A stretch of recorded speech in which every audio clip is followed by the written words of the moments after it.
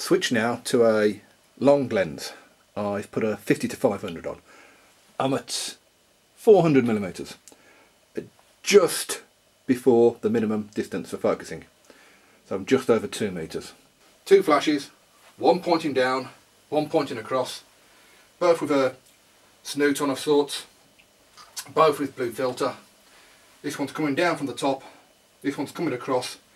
The splash at the moment, or the collision, is occurring round about here.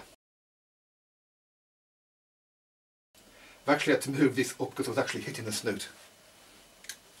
You can see the water drop valve at the top of the screen. I'm now getting roughly about 20 centimetres height on some of the splashes. I've had to zoom back to get all the shot in.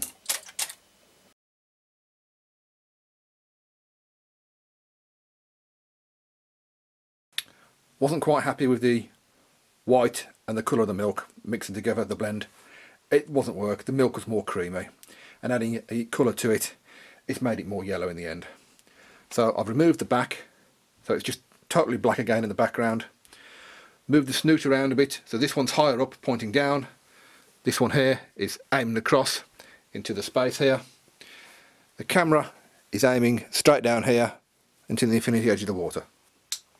What I've done now, try and get some colour into the picture, I've added red dye to the water valve. Cleaned it out, put milk back in there, the same mixture as before, quarter milk, three quarters water, and just added red food dye to it.